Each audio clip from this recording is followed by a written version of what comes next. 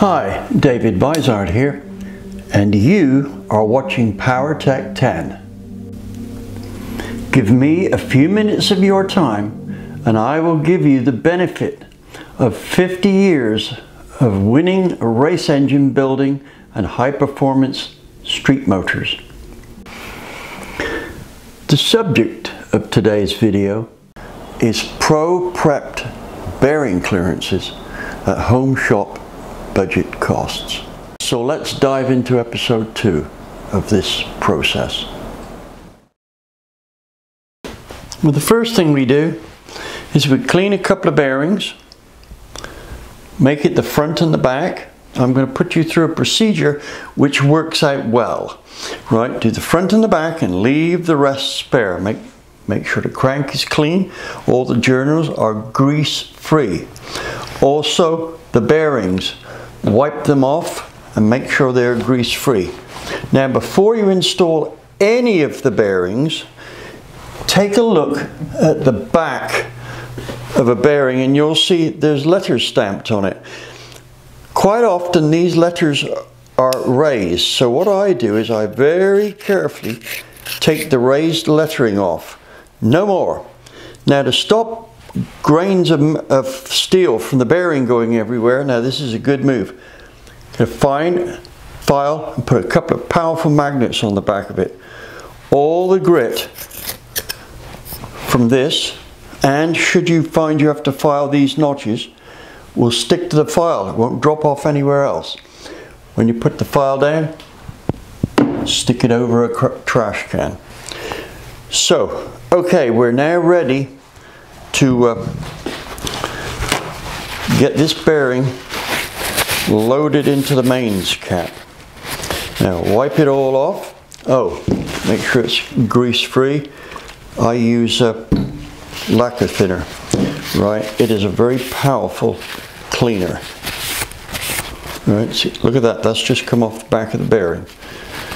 Right, now wipe the bearing and these bearings have already been cleaned, by the way. So you wipe the bearing and the housing, and I've already done this, so I'm not going to do it again. Right, now we are now ready to put the bearing into the cap. Locate the tag first. Oh, make sure you've got a chamfer on the edge here as well. The reason for that is this here will act like a cutting tool for the last part of the bearing installation. We don't need that. So we locate the bearing, push on that there, and in it goes, just as smoothly as you please. Using a knife rather than scissors, cut yourself a piece of the Plastigage and place it on the journal.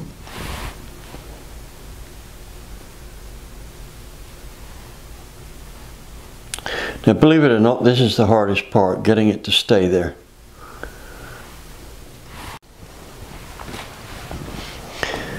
Now place the cap on top of that and gently tap it into place.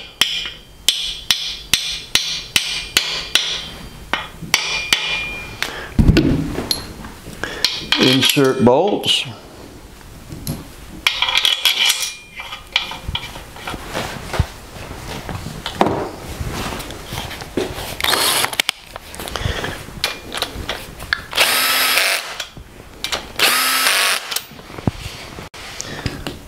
After they're spun down, torque to 40 foot-pounds. Right, let's set that. Here we go.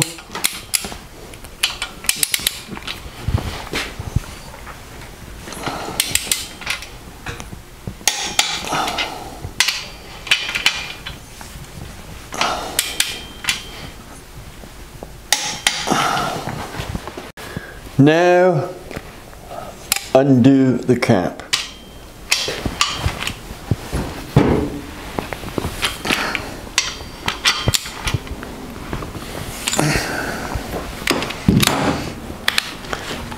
Spin out the bolts.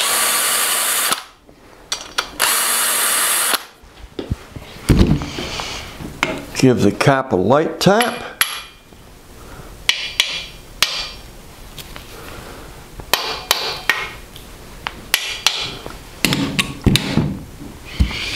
Once it's showing a gap, it gets much easier to just put a screwdriver in like so and take it off. Right, now we have an imprint on the crankshaft. So to find out what it is, we now measure that clearance with this gauge here.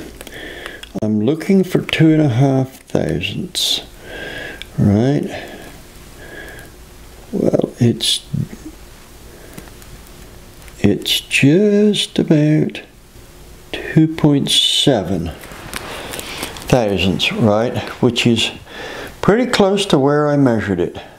So that's the technique we're doing. Now, had that been a thicker piece, and we could try this with the red, because it's within range, to see what it measures out with that. So let's do that now.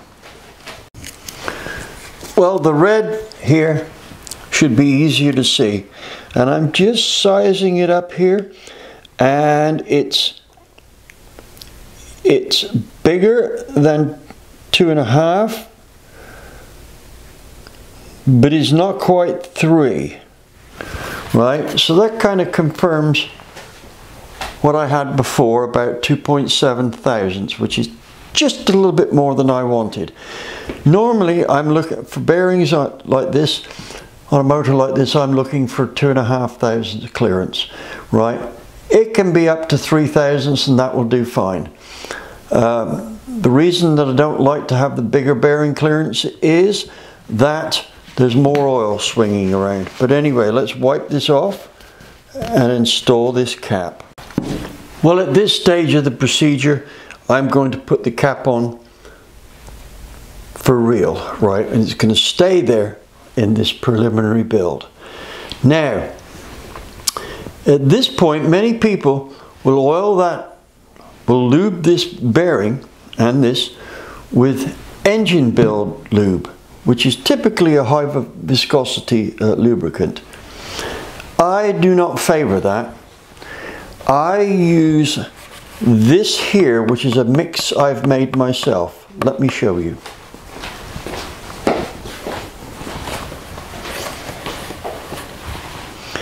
You see how visc uh, the low viscosity of it? That's because there's a lot of low viscosity stuff in it. Let me say what it's made of. Firstly, I use a good oil in this and it's a mix of 30% oil, 65% WD-40 and 5% lacquer thinner. Now, this gives us a lubricant which is very good to find out to see if everything runs as free as it should. So that's what I'm going to do is put some of this onto the bearing and spin it. Let's just put some there and here. Like so pretty runny stuff this. And now we'll put the cap on. Let's make sure we get it right in the right way. And the bolts. Tap the cap in place. There we go. Spin the bolts down.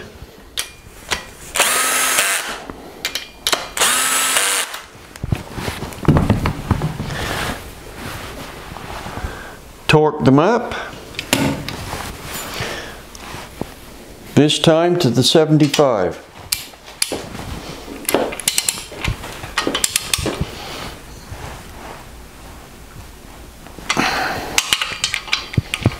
Just go about halfway on each one first.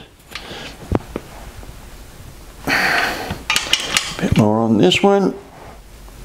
A bit more on that one. Right now all the way. And all the way. Ah. Right. Crank spins very nicely. Very smooth. And don't forget the back bearing is not lubed yet. And that's what we'll do now is the back bearing, right? Our next move is to do the rear mains cap. Several things I need to, to, to point out to you here. First, the obvious ones. Make sure all these edges are chamfered here, all the oil um, um, seal groove is clean right? Uh, chamfer this, uh, make sure this is spotless, and all that. Now, now we're going to use the red um, uh, Plastigage here because the back bearing, the back bearing calls for more clearance than the, the front four. So GM calls for about two and a half to three, but sometimes I'll go as wide as three and a half because the back bearings can run a lot hotter so that extra oil cools it. I like to see about 3.2 but we'll see what that comes out as. One last point I want to show you before I button up this uh, cap procedure here is the fact that this here has all been ground out and blended into here. This is where the oil pump mounts, right? And this allows the oil to pass from the pump down into here better.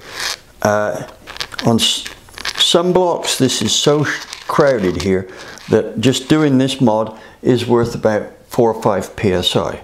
Anyway, let's put the, the bearing in. As usual, we have to make sure that it's spotlessly clean so that's a wipe over with lacquer thinner. And by the way, I've already done the back of this bearing, right? And we slip the bearing in like so. Turn that around. And remember all these edges have been chamfered, so it should go in easy, but because of these thrust bearings, the back bearing won't distort. So you need to line it up here on the tag side, push it as far as it will go, right? And just to make sure that it's all the way in, just lightly tap, just there. There we go. Right, that's located. Now let's put our Plastigage in place Plastigage in place.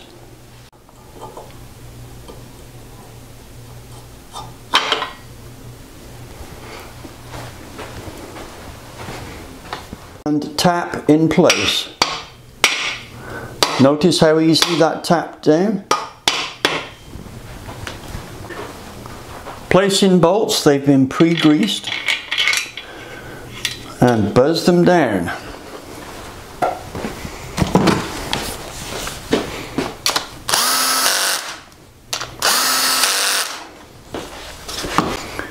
torque to 40, 45 foot-pounds.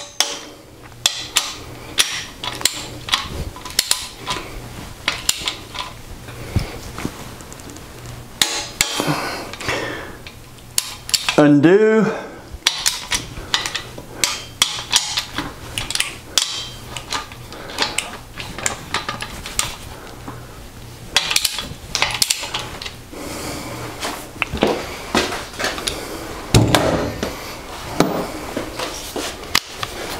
zip the bolts out.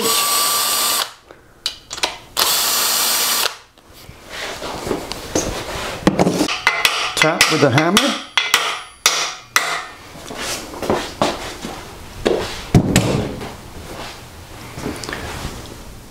Lift off and check clearance.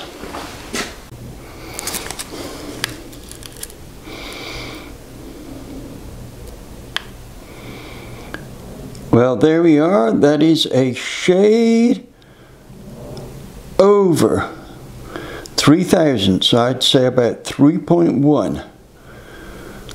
So we're right on the money for where I'd like to see it. Well, that brings us to the end of part two. And in part three, we'll find out just how incredibly freely the crank spins when we prep the bearings in the manner we've done so far.